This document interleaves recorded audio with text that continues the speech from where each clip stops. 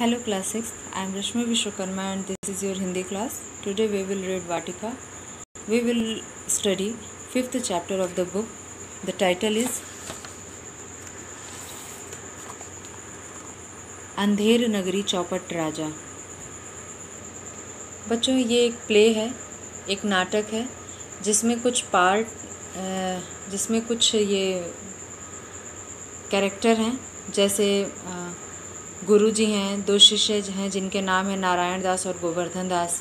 एक सब्ज़ी वाला है, हलवाई है, राजा है, फरियादी है, मंत्री भी है, कल्लू बनिया, कारीगर, चूने वाला भिश्ती कसाई, घड़रिया, कोतवाल और सैनिक। ये पात्र हैं जो सभी इस नाटक में भाग लेंगे और यह नाटक जो है वो चार दृश्यों में कंप्लीट हुआ है तो पहले दृश्य में क्या होता है कि एक गुरुजी हैं जो अपने दो शिष्यों के साथ घूमते हुए एक नगर में पहुँचते हैं और अपने दोनों शिष्यों को, एक को पश्चिम दिशा में और एक को पूरब दिशा में, गोवर्धन दास को पश्चिम की दिशा में और नारायण दास को पूरब की दिशा में भेजते हैं और कहते हैं कि जो भी भिक्षा में मिले उसे लेकर तुरंत आओ। और अधिक लोभ मत करना, क्योंकि अधिक लोभ हानि करता है या नुकसान करता है। दोनों चले जाते हैं। गोवर्धन दास जी जो पूरब की तरफ़ गए थे सॉरी पश्चिम की तरफ़ जो गए थे, वो जाते हैं बाज़ार में और सब्ज़ी वाले से पूछते हैं कि भाई, सब भाजी कैसे दे रही हो? दे रहे हो? तो सब चीज़ों का दाम बताता है टके सिर। मिठाई वाला भी सब मिठाइयों का दाम टके सिर बताता है। तो आ, उनको थोड़ा ताजुब होता है गोवर्धन दास को कि सचमुच सब टके सिर का। तो हलवाई बताता है कि भाई इस नगर की चाल ही यही है यानी स्वभाव ही यही है यहाँ पे सब कुछ टके सिर ही मिलता है। गोवर्धन दास को और उत्सुकता हुई उसने पूछ लिया कि भैया इस नगर का नाम क्या है? तो हलवाई ने बताया कि नगर का नाम है अंधेर नगरी और इसके राजा का नाम चौपट राजा। तो उन्होंने कहा कि वाह वाह अंधेर नगरी चौपट राजा, और टके शेर भाजी, टके शेर खाजा। तीसरे दृश्य का शुरुआत होता है जब गोवर्धन दास ढेर सारा सामान लेकर गुरुजी के पास पहुँचते हैं। गुरुजी उनसे पूछते हैं कि भाई, इतना सारा सामान लेकर आए हो? तो बताते हैं कि मैं बहुत चीज़ यहाँ पे सारी चीज़ें बहुत सस्ती हैं। सब कुछ टके शेर ही मिलता है।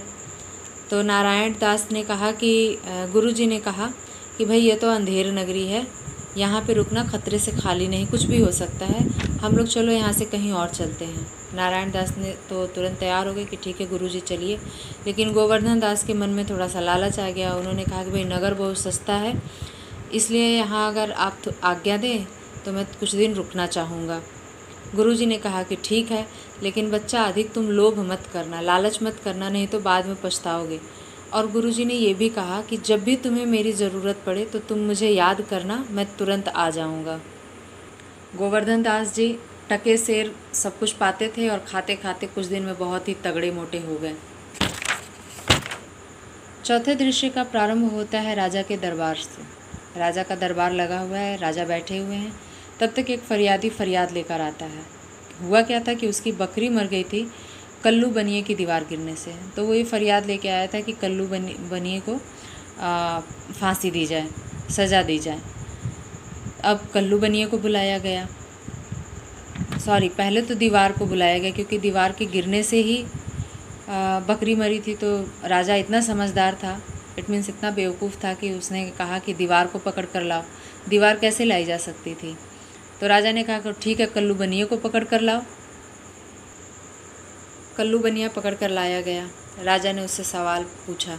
तो कल्लू बनिया ने कारीगर के ऊपर कारीगर ने चूने वाले के ऊपर चूने वाले ने भिश्ती के ऊपर भिश्ती ने कसाई के ऊपर कसाई ने गडरिया के ऊपर गडरिया ने राजा गडरिया ने कोतवाल के ऊपर और कोतवाल जो था उसके ऊपर आरोप आ गया कि कोतवाल की ही गलती है कि आ, उसकी बकरी मरी है इसलिए उसको फांसी की सज़ा दी जाए।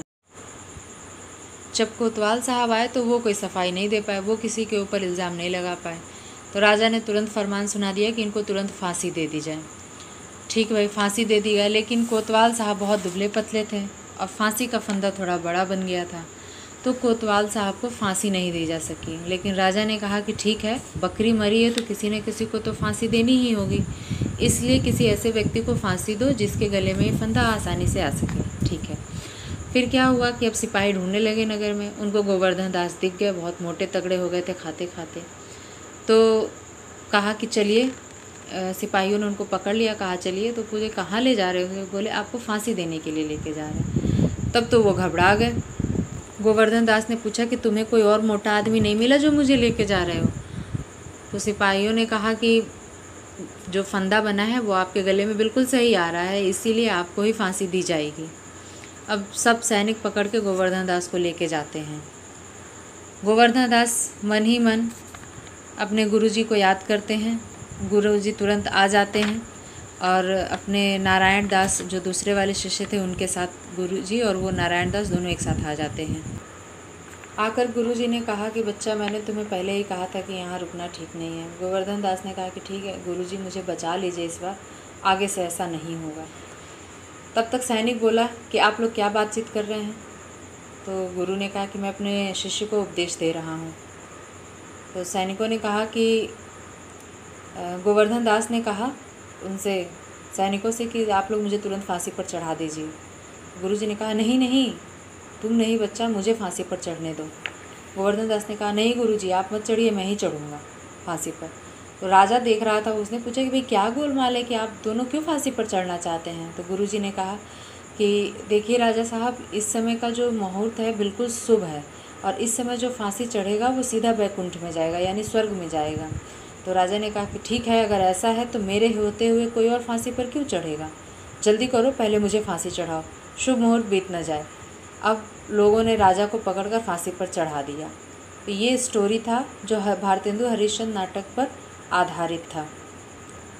बच्चों, इस कथा में यही बताया गया है कि बिना विचारे कार्य नहीं करना चाहिए और जिस देश का मुखिया जिस देश का राजा या जिस देश का राजा या मुखिया अगर मूर्ख होता है, विचार, विमर्श से काम नहीं करता है तो उस उसके साथ साथ प्रजा और वो स्वयं भी दोनों कष्ट पाते हैं।